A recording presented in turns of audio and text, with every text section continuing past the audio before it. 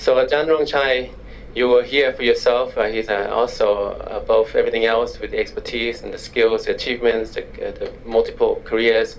He's an entertaining speaker, and I've asked him to speak for as long as he wants, uh, but he says he'll limit it to 30 to 45 minutes.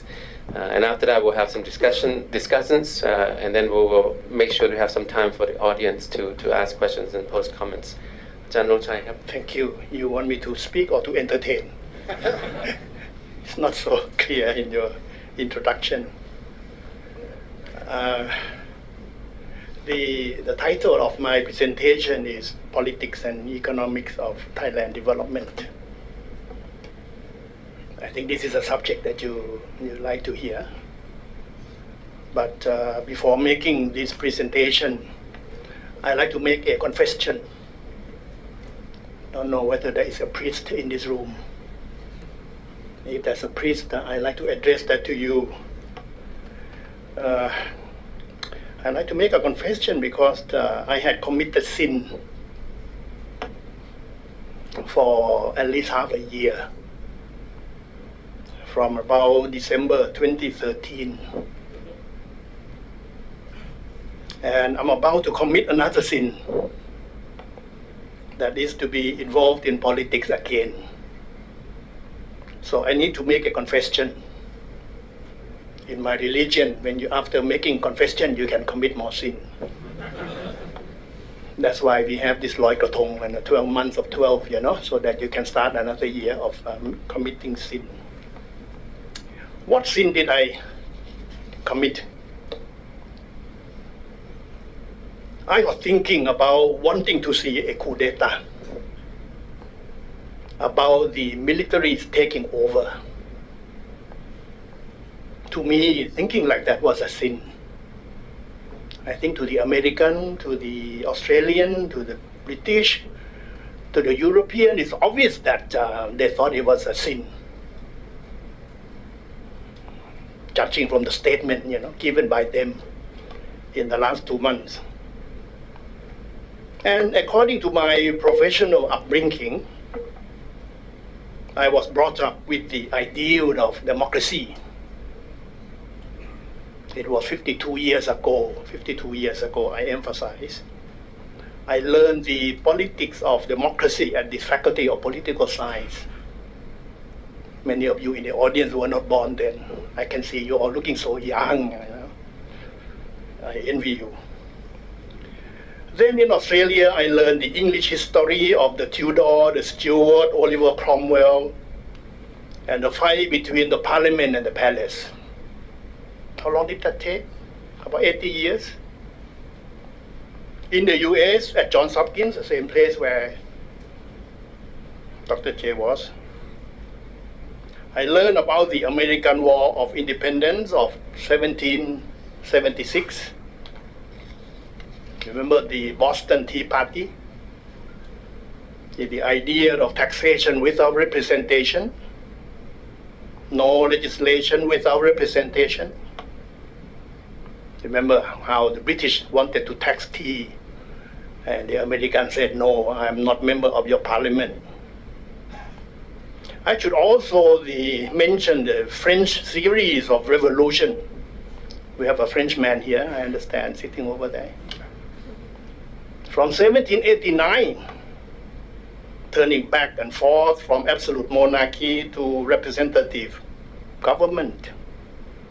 I think even Napoleon III staged a coup d'etat, you know. So if you uh, have to blame coup d'etat, you must blame Napoleon III also. His ideas of liberty, equality, fraternity, the three finger things. Why did I have that sinful thought of having the militaries uh, taking over the administration of the country? I'll give you these uh, reasons. First, at that time, November, December 2013, January, February, March, political conflicts were growing without control with uh, sporadic violence and casualties. The economy was disrupted more and more seriously. and democratic solution by means of general election were fading away. I was feeling very desperate. You know, I'm a member of the Monetary Policy Board, Bank of Thailand. And uh, we had meeting in March, we had meeting in April. We saw the number falling everywhere.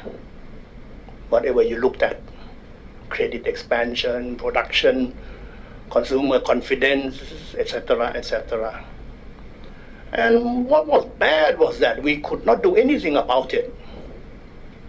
We could not adjust interest rate, we could not adjust the exchange rate, we could not adjust the liquidity and reserve requirement. It was very desperate. Then we had the incidents of 22nd of May, 2014. So sinfully, I feel very happy about it. Now, now, now, now, the irony of life. I'm working with the military. I could never imagine that in my life. When I first came back from the US, I was an activist, joining the movement against the military government of Thanom and Prapat. Now, every morning, I have to go to the army compound to work. The reason you guys have this meeting on Wednesday is because we have Wednesday off. Otherwise, I would have to be there from 9 to 12 every morning. And can you imagine at this age having to do that? It's a tough life. But in retrospect, in retrospect, that sinful thought occurred to me many times before. This was not the first time. The reason for this was politics and economics. I've been working as a uh, professional economist for the last uh, 40 years, oftentimes involved in politics. For politics, Thailand has not achieved a stable political system since the major change of 1932. I can say that. I think you all agree with me. We were given the ideology of democracy at that time we were led to believe in the principle of representative government. As mentioned before, no legislation without representation, no taxation without representation. That was the ideal of democracy.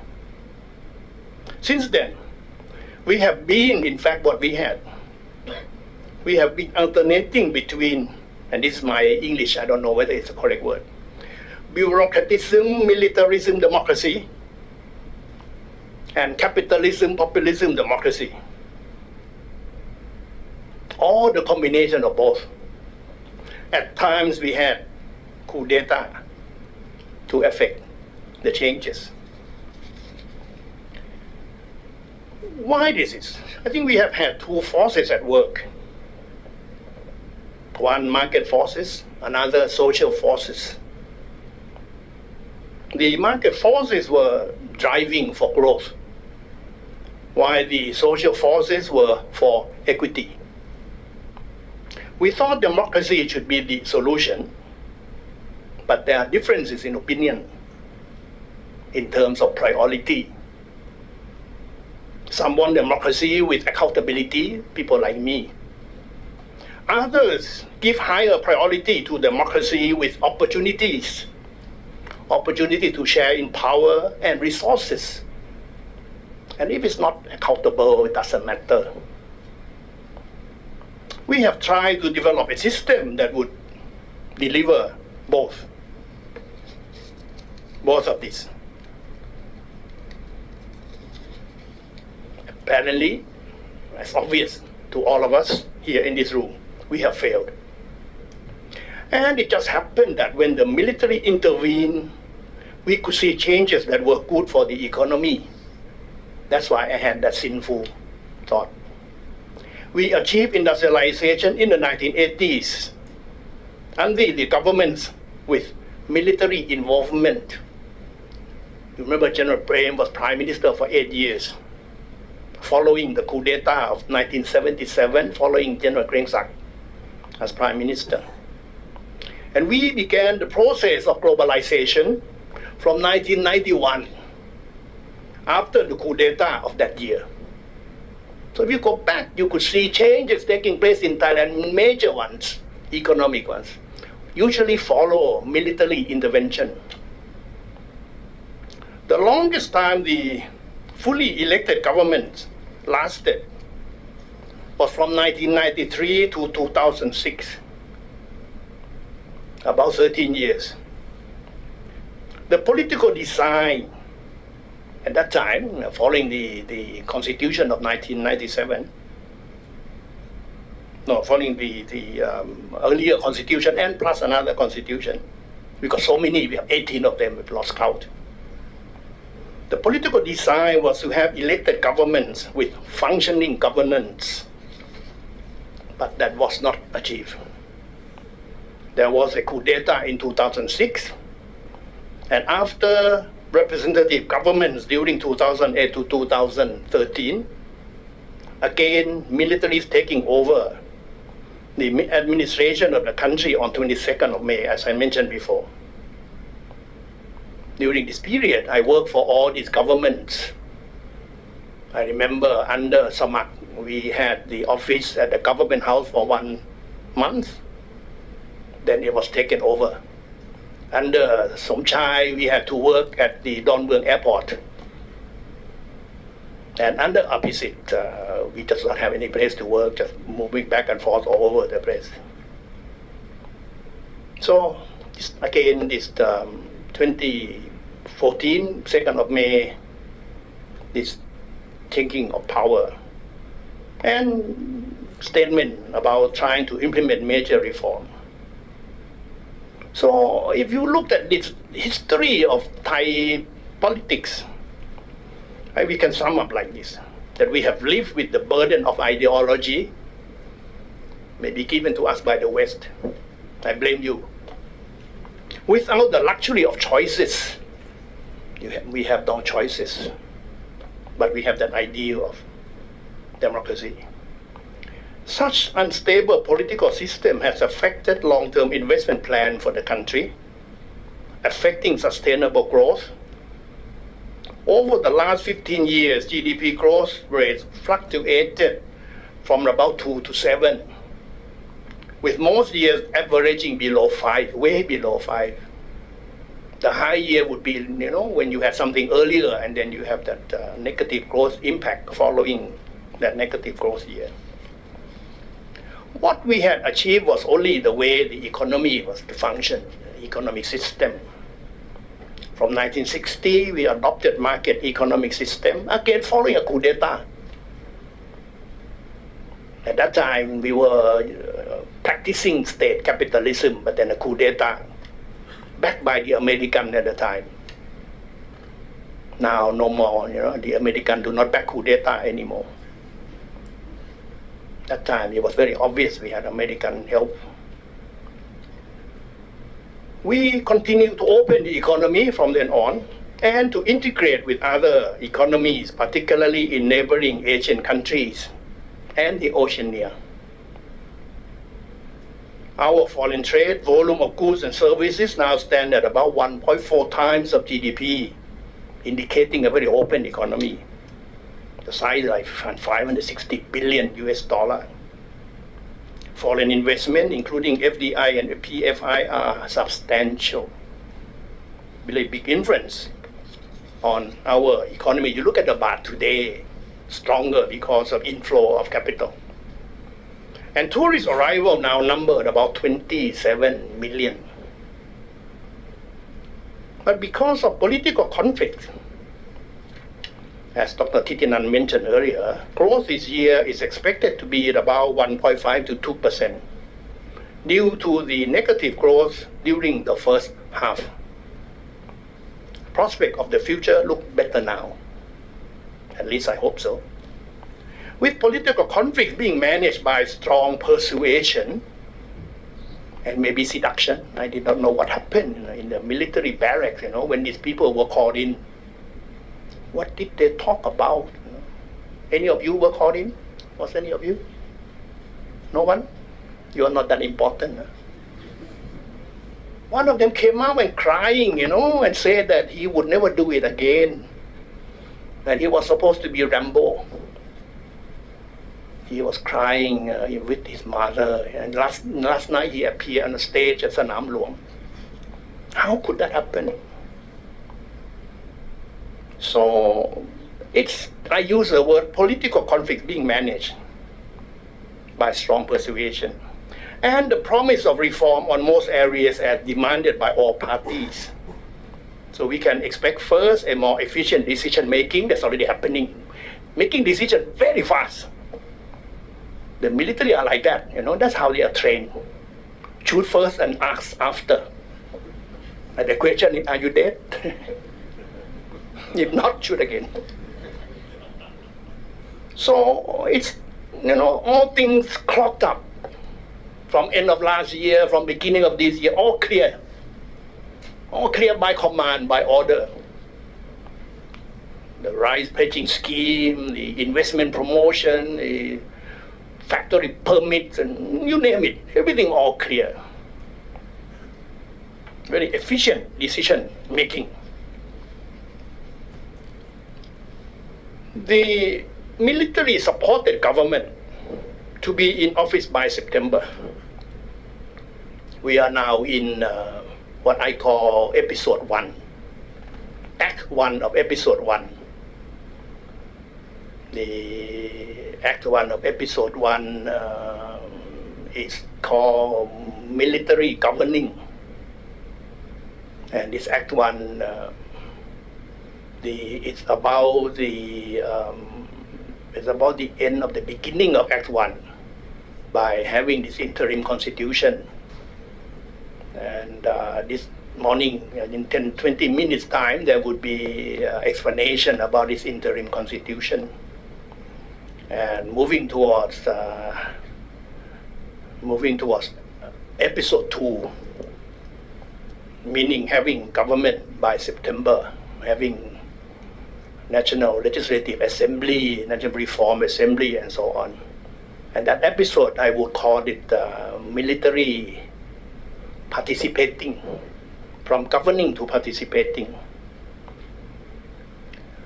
I believe that um, this military supported government is expected, I believe, to follow the same market economic system. And you can wait to hear the statement made by Prime Minister to the to the parliament on the opening day. Open to foreign participation and competition in trade and investment, I can assure you that that would be the most likely uh, theme of the statement on economic policy. What is hope is that the government will begin the process of transforming the economy towards a more value adding, value creating economic activities and with more integration with the neighboring economies, particularly the GMS, ASEAN, and East Asia. This direction is necessary because of the shortage of labor and energy resources. These are the two most obvious problems we have shortage of labor and energy resources. The transformation is to be achieved by investment in the new learning and producing paradigm relying more on digital technology. It's a big challenge there, you know, relying more on digital technology. And in the new generation of infrastructure that will provide connectivity with the neighboring countries and reinforcing domestic connectivity. Such infrastructure would facilitate independent works. We got so many Thai working as independent professionals and would allow many major cities around the country to grow and to become the new growth engine of the economy. In fact, this, this direction, you know, we envisaged this direction, wanted to have, to move into this direction many years ago.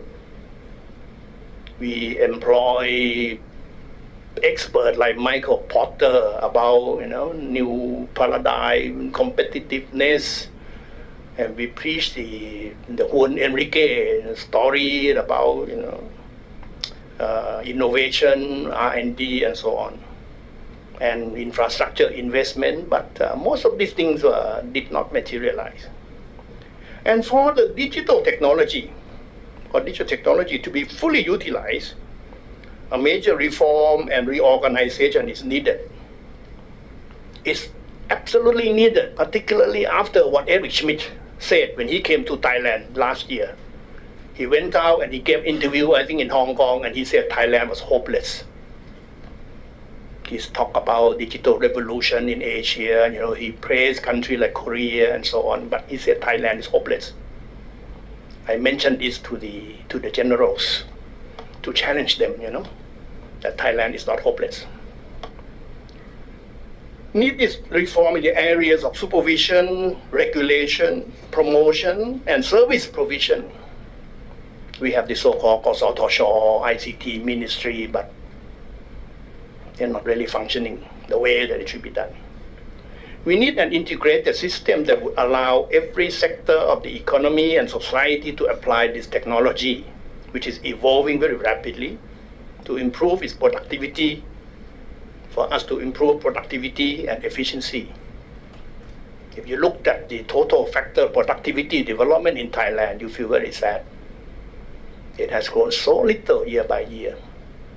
That's why our per capita income is stuck at about 5,008, 5,009 for the last four or five years. So-called middle income trap.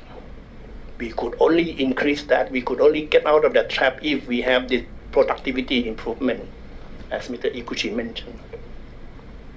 Another area with priority for reform and reorganization is the labor market, particularly migrant workers. The need for migrant workers is obvious. I have three in my household. The supply and demand for migrant workers create a very big market and also opportunity for exploitation. You could see how serious it was about three weeks ago when the NCPO announced that they would, they would manage, they would organize this migrant worker system. You could see the exodus of Cambodians moving out of Thailand back to Cambodia. It's like Moses leading the Jew out of, you know, uh, Egypt into Palestine, into the Gaza area where they are fighting today, 2,000, 3,000 years ago. So a system must be put in place that would minimize exploitation and at the same time satisfy security concern of the military. We are not military people. We have to understand how the military people think.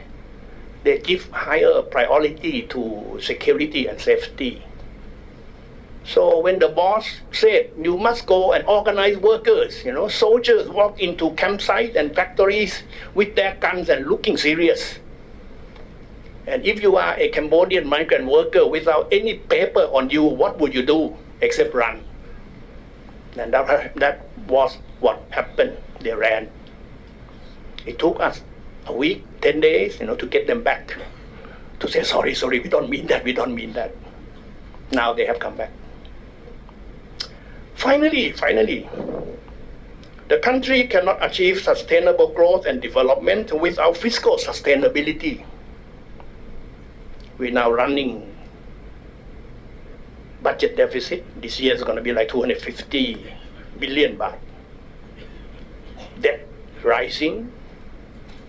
This year approaching 50% of GDP. If you put in the debt due to rice pledging scheme, that has not been put into the account yet, you know, because we don't know how much we lose and how much debt we will have to put into our public debt. Major tax reform is on the agenda. I warn you, I tell you now. I cannot give you detail, but uh, major tax reform is on the agenda, particularly for rich people, particularly people who have a lot of wealth together with the reform of state enterprises, a new committee on state enterprise uh, policy, you know, they have already changed the legislation by order of the NCPO. This committee would have authority to order state enterprises to do whatever they think is suitable. Formerly, it was a policy committee. no longer. To reform state enterprises, essential, particularly the ones with propensity of loss making. You look at the railway, railway, you know, you, oh, I mean, I don't want to mention many of the state enterprises that are forever uh, losing money. Thailand, like any other developing countries, needs a more sustainable growth so that the people can live a better life. Ideally, this should be achieved under the system of representative government. But what is more important is a system of good governance. I think our problem is not, not bad government, but problem is bad governance problem is not bad politicians, and it's bad governance. And, and, many other countries have bad politicians. Look at the US, look at their congressmen. Are they good people? I don't think so. Not all of them anyway. But they have good governance. Look at Japan. The politicians in Japan are good. Many of them are not good. But they've got good governance. Know, I like what Modi said, um, new Prime Minister of India. He said, "You, we must have less government and more governance." That's essential. So unless we operate with good governance, we will continue to be faced with, with political and economic instability for a long, long time. I must tell you, I do not want to commit another sinful thought in the near future. I, this may be my last uh, sinful thought, hopefully, and maybe my last assignment uh, uh, with the with the um, government helping them. I do not want to see this again. So I hope when we go into episode three, remember what I said, episode one, military governing, episode two, military participating, that would come about September, lasting for a year. Then general election, we have episode 3, it would be military watching. Don't ever dream that the military will go away. You listen to the song, you know, I will listen to that every day. Uh, they say that uh, military would not accept defeat. So now they are out and they can, will not go away. And if that military watching would deliver democracy with accountability, then I do not need to have my sinful thought again. Thank you very much.